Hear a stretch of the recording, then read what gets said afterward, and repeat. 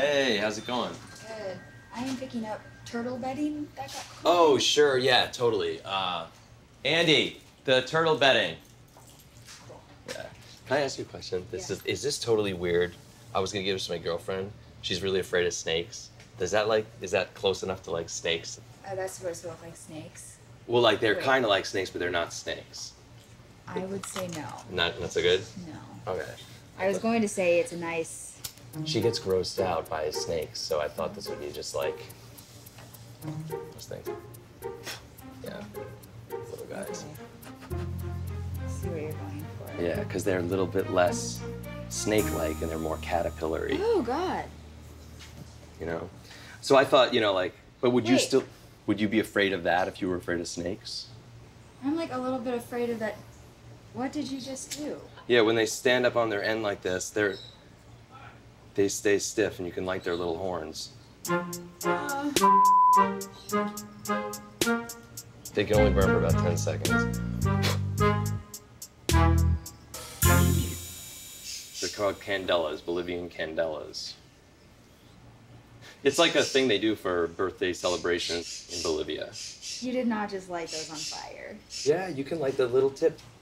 Yeah, we get a whole case of them in here.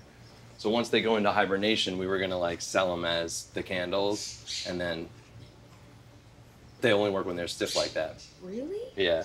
All right, I'm gonna get these guys back in. Once they start moving again, they won't do that again until the season hits. When they get scared, they'll stay perfectly stiff. The same thing we do when we perk up, and then that becomes that. That's a receptor that if you touch it, it won't. It has no nerve endings in it. That's why you can light it. And then once they feel the heat, you put them down on something else. But bonkers. yeah, but I just don't want her to freak out when I was showing it to her. So yay or nay on these? I mean, I shouldn't do it. She might freak out. Yeah? Yeah. All right. Let me go grab your bedding. Okay.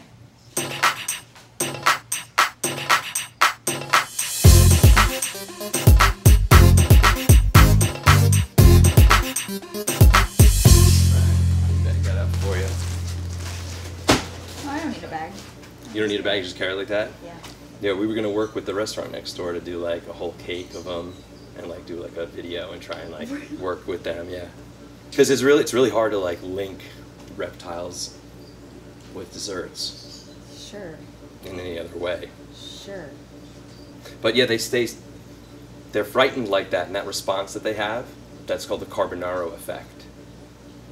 Okay. Have you heard of that before? The No. Carbonaro I effect? don't think so. It's the name of a hidden camera magic TV show that you are on right now. I still can't tell if you're with me or not. I mean, I know you're. Now I am telling you the truth. This is a hidden camera magic TV show right now. I'm a magician. Don't. I mean, I believe that you're Okay. a magician. You okay? Thank you. yeah, But look, I have a camera hiding right up there. See that one? I do. See that camera hiding right up there? I do. Yeah. Okay. Oh yeah. Okay. I'm Michael Carbonaro. What's your name? Christine. Christine. That was pretty hard to believe. Yeah, I was like, I mean, I was like, you're with it was like back For and forth. sure. You were wrestling it. You were like. I was like, no but way." like, I was like, wait, was it? Oh my god. And I was like, no. Oh, that's awesome. Candles. Well, here, that's for you. No, thank you. Okay.